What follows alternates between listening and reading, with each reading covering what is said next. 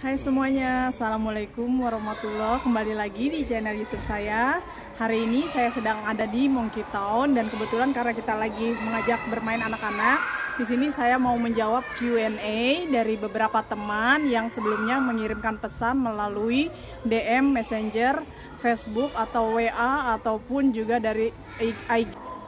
Oke untuk pertanyaan yang pertama itu kebanyakan dari teman-teman yang nanya di Belanda ada nggak sih COVID? Di Belanda ada COVID dan bahkan di Belanda banyak juga yang kena virus dari COVID dan di Belanda juga pernah menjadi zona merah.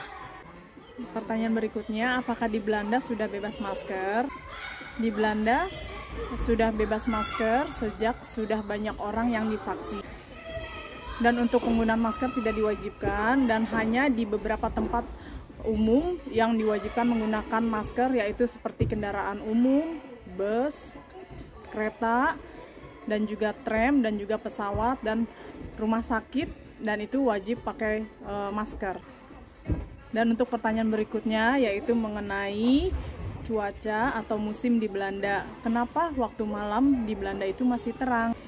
Pada saat musim panas, waktu malamnya itu mataharinya tenggelam pada saat jam 10 malam dan pada saat musim dingin itu kebalikannya. Pada saat musim dingin, waktu malamnya itu gelapnya lebih cepat, jam 4 sore sudah gelap. Untuk pertanyaan berikutnya dari salah satu seorang teman yang menanyakan apakah di Belanda pada saat masuk ke tempat rekreasi itu harus menggunakan surat vaksin atau tidak di Belanda kalau kita mau masuk ke tempat rekreasi itu tidak perlu menggunakan surat vaksin karena sebelumnya saya juga pernah bersama keluarga jalan-jalan ke salah satu tempat rekreasi ke Selaharan tidak perlu menggunakan surat vaksin kecuali kalau kita melakukan perjalanan ke luar e, negara lain yaitu e, sekitarnya yang di Eropa itu perlu menggunakan surat vaksin. Untuk pertanyaan berikutnya, kenapa di Belanda kok tempat taman umum bermainnya itu sepi? Di tempat taman umum bermain pada saat masa covid ini memang lebih sepi dari biasanya. Karena biasanya kita juga kalau main itu pada saat waktu malam antara jam 7 setelah makan malam terus kita main itu juga semua kebanyakan orang-orang sudah pada kembali ke rumah dan anak-anak pun juga bisa main hanya sebentar. Oke untuk pertanyaan terakhir belanja di mana untuk makanan dan bumbu Indonesia di sana apakah ada untuk jawabannya ada dan untuk beli makanan dan juga bumbu Indonesia itu banyak.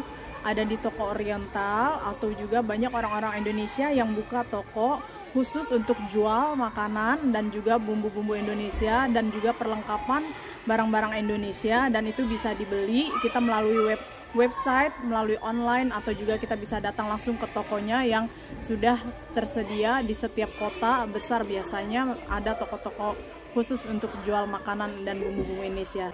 Oke okay guys, untuk uh, pertanyaannya cukup sekian dan terima kasih. Dan sebelumnya terima kasih atas uh, pesan yang masuk melalui WhatsApp, Instagram, Facebook, dan Messenger. Dan jika ada kesempatan di lain waktu mengenai pertanyaan kalian, nanti kita akan lakukan Q&A berikutnya. Sebelumnya, jaga kesehatan dan selalu tetap jaga hati dan pikiran untuk selalu damai. Untuk kalian yang belum subscribe, jangan lupa klik tombol subscribe-nya dan like-nya supaya kalian bisa ikutin terus video-video berikutnya dari saya. Dan sampai jumpa kembali. Wassalamualaikum. Sampai jumpa.